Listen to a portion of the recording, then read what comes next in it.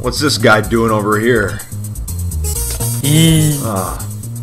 You know, I'm just not gonna ask questions about that. Be his friend or you will get in trouble.